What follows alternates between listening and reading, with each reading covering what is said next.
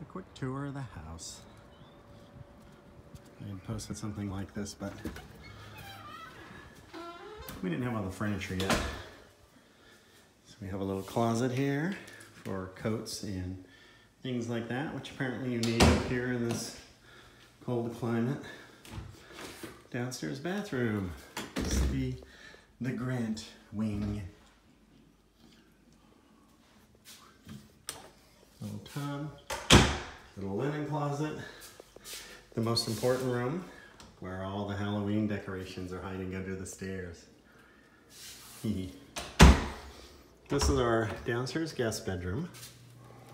Cement floors. Got a TV, bed, and little dresser.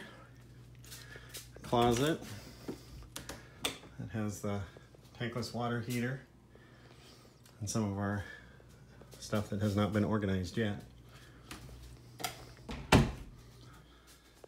The cement floors are nice and cool right now, but they have heating in them, and that's from the tankless water heater.